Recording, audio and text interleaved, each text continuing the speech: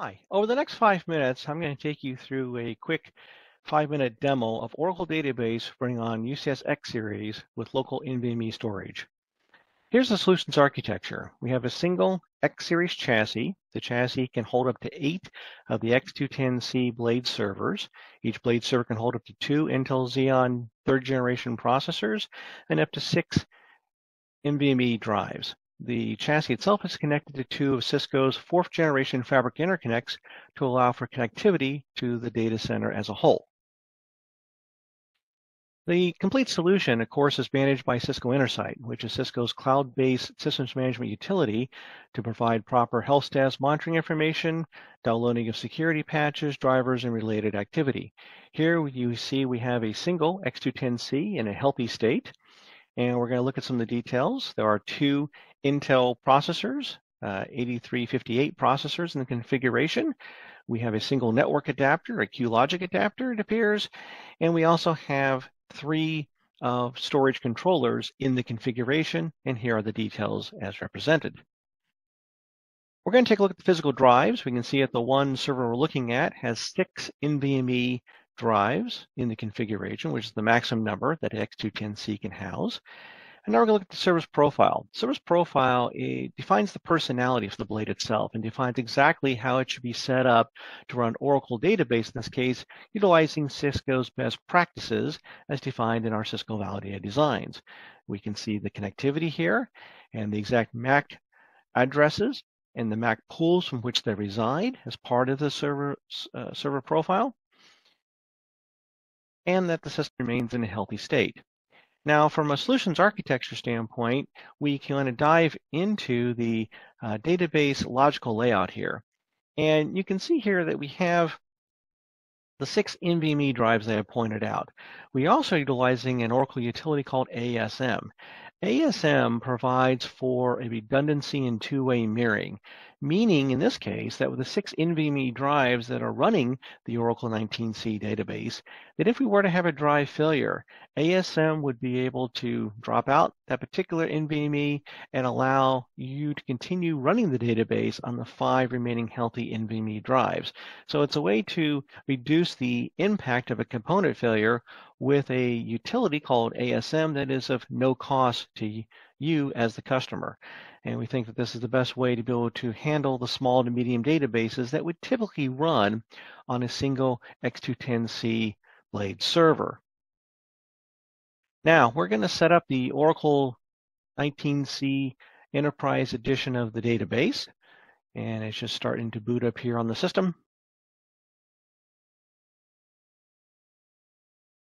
And we're just uh, getting the database set up. It has recognized that there are six drives in the configuration.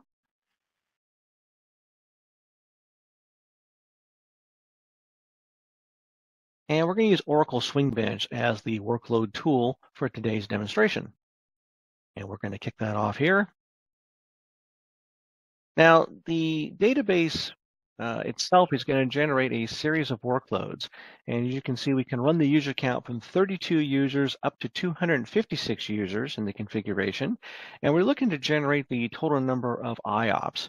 The database itself is up to five terabytes in size. And you can see that we're able to sustain a linear scalability as we move forward.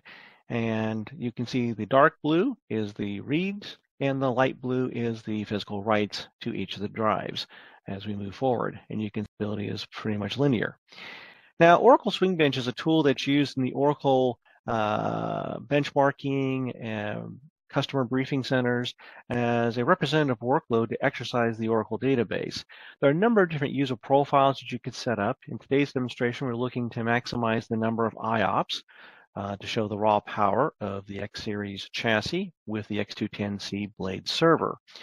And you can see that we just kicked off the workload and already we've generated over a million IOPS on the single blade that we are in fact testing. Um, by doing this, we're able to show the raw scalability and the workload that the blade server can generate itself. And you can see we're easily ramping up transactions, good linear scalability as we move through. The uh, transactions per second are up to about 39,000 transactions per second with over 2 million IOPS being generated, and we continue to add additional workload. Now you can see that we are using all six drives in the system. And as we bring up a chart here, you're going to see that the next to last column where it's entitled SVCTM, you'll see it's 0.01 throughout all six drives. This is an indication that we are reading and writing from each drive simultaneously at the same read rate, uh, which is ideal uh, for be able to ensure maximum performance for the Oracle database as it is a classically archered architected database. Now, in addition, if you look at the number of IOPS we're generating, we can do about 6 million IOPS per X210C blade. And when you have eight blades in the configuration, that equates to about 48 million IOPS. Now, granted, your mileage will vary depending on how you set up your database. And this is a, a workload that we have set up here to drive that number of IOPS. Um, I also want to point out that the ASM, of course, is being utilized here to make sure that we can minimize any component failure of an NVMe drive, thereby allowing the other five drives to continue running. And that ASM utility is a no-cost utility to you as the customer. So it's an ideal way to be able to maintain access to the data, even though um, you may have lost one particular drive in the configuration. It's really ideally suited for the small to medium databases you would run on this particular blade. Now, here's the link to the white paper. It is a paper that is combines all the um, testing data that we've shared with you today, much more details on its setup, and it really does give you a full understanding of how to deploy a high performance standalone Oracle database running on Oracle 19C on the X Series chassis.